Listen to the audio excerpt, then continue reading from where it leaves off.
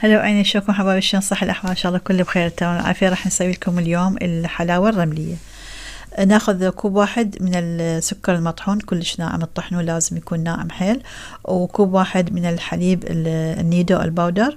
وكوب واحد من الراشي أو الطحينية. وهنا أنا عندي مكسرات يكون حامستهم حتى يعطيها نكهة كلش طيبة. أي مكسرات موجودة عندكم؟ مثلا فستق سوداني أو لوز أي شيء متوفر عندكم تحمسوه وتضيفون وياهم. هنا أنا بعد ما عجنتها عجن كل زين بالإيد لازم تعجنوها هواية يعني تقريبا فد خمس دقائق. بعد ذلك راح نأخذ أي صحن آه، متوفر عندكم مربع مدور أي شيء موجود. نخلي به هنا قليل من المكسرات المح... المحمصة يعني تكون.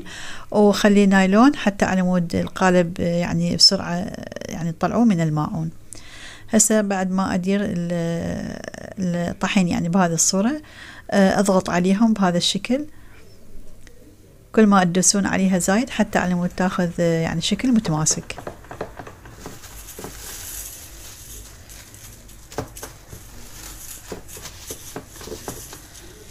بعد ذلك راح ندخلها بالثلاجة مدة ثلاث ساعات أو أربع ساعات.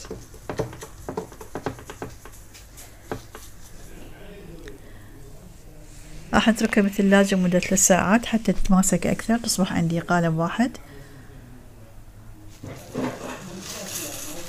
هنا بعد مرور آه، ثلاث ساعات صارت عندي جاهزة أو ممكن تستخدموها وتقطعوها على شكل مكعبات.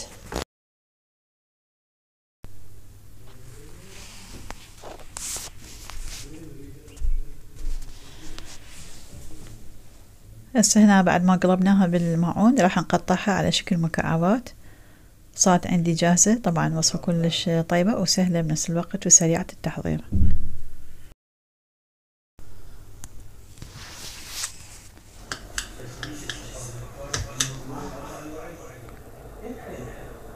ولهنا كملنا الوصفة. إن شاء الله تنال رضاكم وعجابكم نهاية الفيديو حبايبي. نستودعكم الله. في أمان الله. باي باي